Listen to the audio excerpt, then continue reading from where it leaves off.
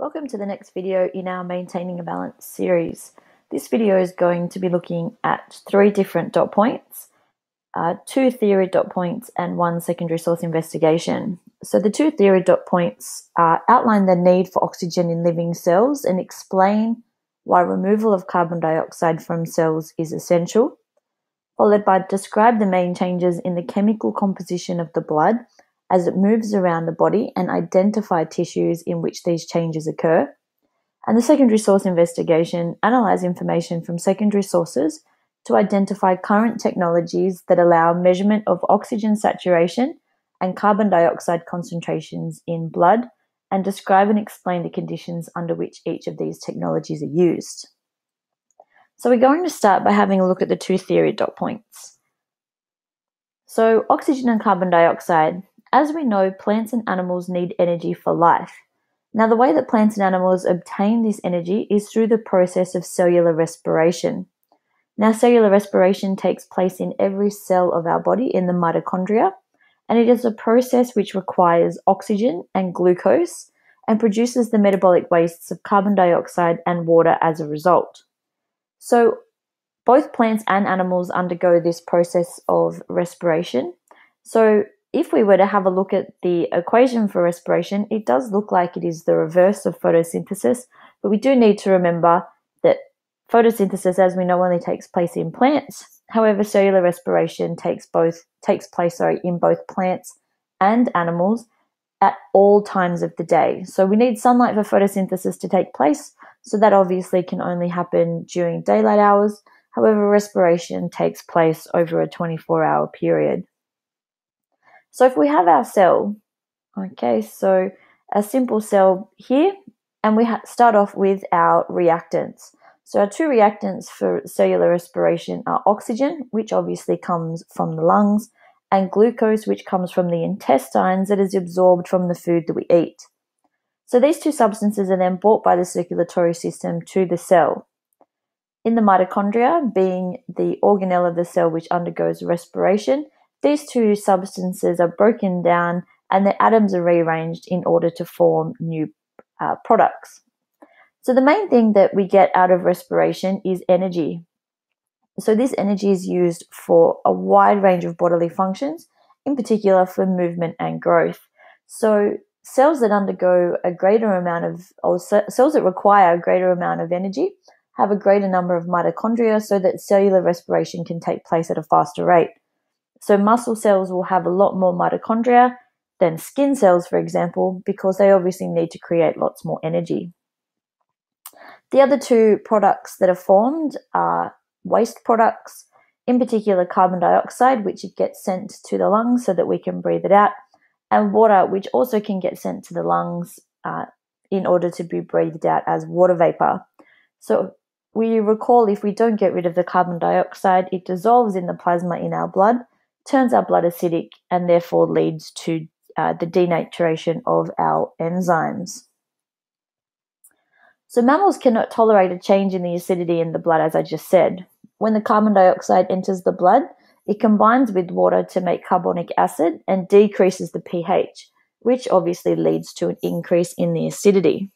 So, we recall that enzymes can only tolerate a narrow pH range for op- optimal functioning, and that depends on where in the body the enzyme works. So if the enzyme works in the stomach, it will be able to already withstand a fairly low pH. But if that pH decreases further, then it will begin to denature. Uh, enzymes in the intestines require a slightly higher pH, and therefore any decrease in the pH is going to have a fairly large effect on the enzymes. So as we can see here, we have our water molecule combining with our carbon dioxide molecule to form uh, that carbonic acid, which uh, causes the decrease in the pH of the blood. And then what happens is our enzyme, with its active site here, changes, so it denatures, so the active site no longer is the same shape, so it won't be able to fit the substrate that it usually fits with.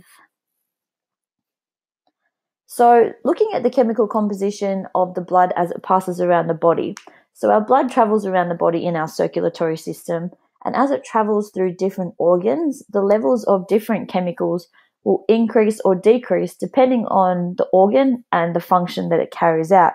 So we're going to start at the top and go around in a clockwise fashion and have a look at some of the changes that occur.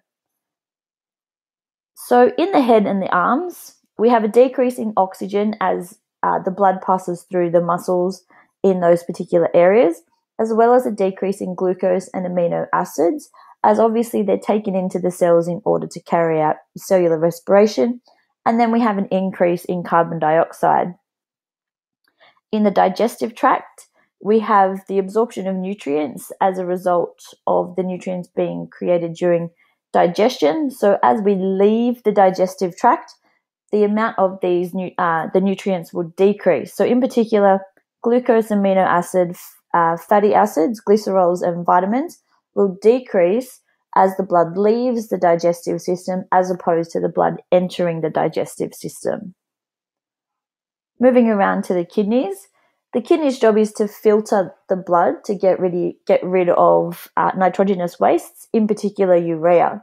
So the kidney's job is to filter the urea out of our blood. So the blood entering the kidneys has a high concentration of urea, but as the blood leaves the kidneys, that concentration of urea has decreased as the kidneys do their job to get rid of that uh, waste product. The kidneys will also help to reabsorb glucose and amino acids. So as the blood leaves the kidneys, the concentration of these will be higher uh, than the blood entering the kidneys.